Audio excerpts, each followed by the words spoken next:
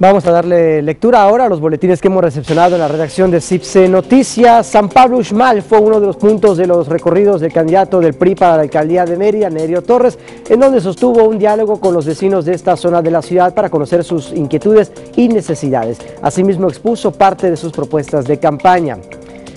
La candidata por el partido Movimiento Ciudadano, Ana Rosa Payán, inició sus actividades saludando a los trabajadores del Instituto Mexicano de Seguro Social, a quienes reconoció la importante y noble labor de velar por el bienestar de la ciudadanía.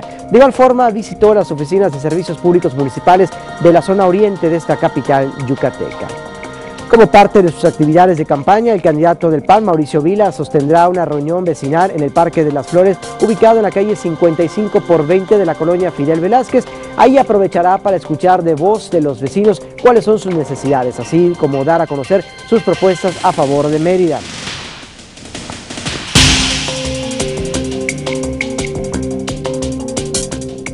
Candidato por el primer distrito local del Partido Acción Nacional, Antonio Peraza, visitó el fraccionamiento Vergel 2 y Pacaptún, en donde dialogó con los vecinos de la zona para escuchar sus inquietudes.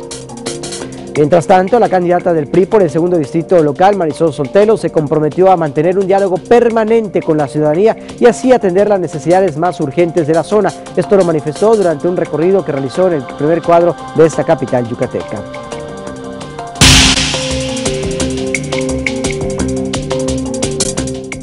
Quizá a favor de las personas con discapacidad es uno de los compromisos del candidato del PRI por el tercer distrito federal, Pablo Gamboa. Esto lo expresó durante un recorrido por la colonia Tanlum, en donde los vecinos de la zona se reunieron para expresarle sus necesidades al abanderado tricolor por esa demarcación.